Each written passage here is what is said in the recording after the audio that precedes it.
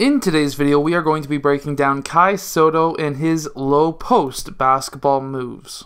So in this first move, it is very similar to a Hakeem Olajuwon type of move. So what he does is a quick dribble post up and then he hops. When he hops, he has his legs totally spread wide apart. He actually has both of his feet wider apart than his defenders, and this is actually a very good strategy.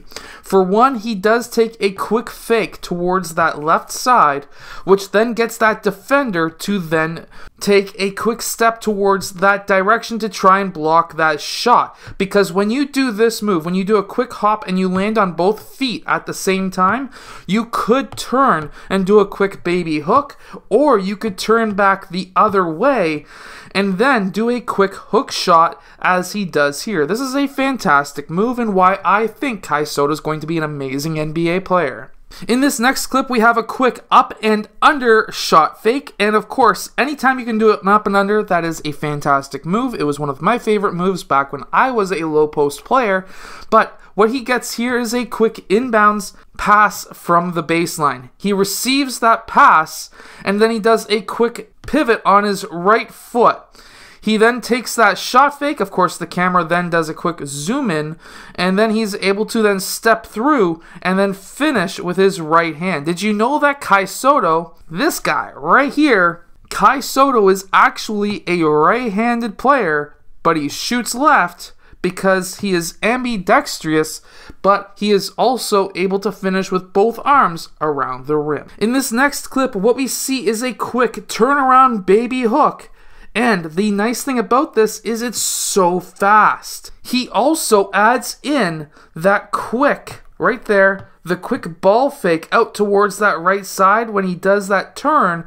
That should get that defender just far enough away so that he can put up that baby hook. This next clip is of him in the low post in the American high school and he does a quick spin. He gets that ball, really quick spin dribble, and doesn't even dribble a second time. Spin dribble right hand, collects with his right, right, a left, right, and then finishes with his right around the rim. This is what's so deadly about Kai. He can finish with both hands, like I was saying. Here's another clip. He receives that ball, quick shoulder right fake, and then goes up with the baby hook. This is Hakeem Olajuwon Dream Shake style moves. And how you would do this is when you receive that ball, as soon as you get your feet landed on that ground, you do that right shoulder fake, and then you turn and pivot with your left foot up with the baby hook.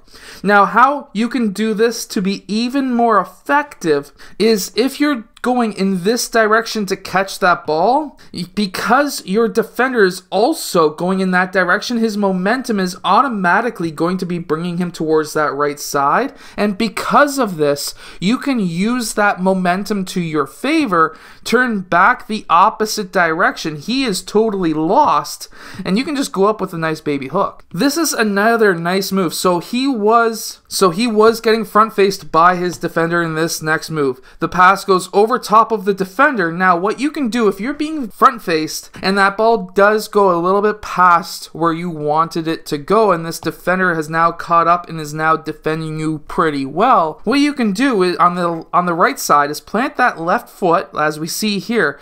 Quick shot fake. You haven't dribbled yet. You can take one more dribble, and then you can go up for your left-handed hook shot. Now, how he gets this left handed hook shot is by landing on that right foot first. This is all about footwork. He lands on that right foot, which is extremely important because now that's going to allow you to push up even faster and harder into your jump so that now you can, of course, finish with that baby hook. This is an absolute fantastic move by Kai Sotto. So if you're driving right or left, it doesn't really matter, but let's say you're driving right. You can do a quick shot fake and then you can use your right foot as a pivot. You can do a quick shot fake again Now you've done two shot fakes. You've got this player moving in this direction. He lands. You do another shot fake. He's moving in this direction. He's trying to stop you and he just can't. At that point, you want to do what's called a step through. And you want to do a step through towards the player, especially if you're taller than that player. Why is this important? Well, by doing a step through into that defender, if he makes contact, and of course, you want to go up with two hands up until the last second, because if he makes contact, you're going to be losing the ball if you only have one hand. But if you can have two hands on the ball, like we see here, by having those two hands on that ball when you do that quick step through or jump through or whatever you want to call it, and when you do that, you can get a lot of fouls. This is another pro level move. This is a face up mid range or mid post move.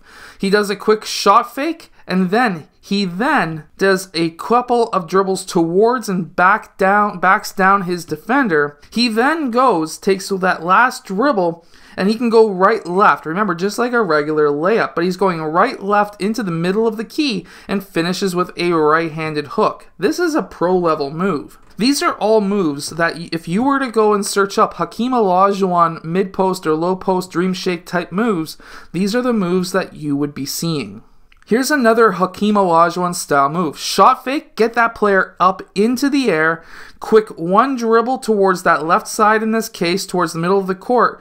Quick pivot left, that gets that player up into the air or at least moved over towards this left side which then allows you to turn around and you can normally take that shot. But if you've got a good defender on you, like we have number 33 White, he seems to be a pretty solid defender.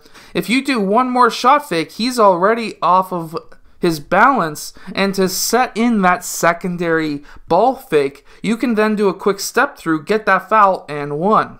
So we actually seen a very similar move to this earlier on, but I really like this one. This adds an extra hitch into the moves. And what we have here is a quick spin, as we seen earlier, spin baseline, and then before he finished with that reverse. But this time, he does a quick one-handed ball fake towards the net that defender falls for, and then he's able to finish with a right-handed baby hook. These are all great moves. So if you are a low post or mid post player right now, I want you to either save these video clips or what I want you to do is to take your iPad or whatever you have to the basketball court Watch these moves and try to imitate them yourself on the court and practice those moves over and over and over again so that when you get into game, these moves become second nature and you can do them against your defenders. I hope that this video has helped you. If it has, hit that like button and subscribe, and I'll see you guys again next time.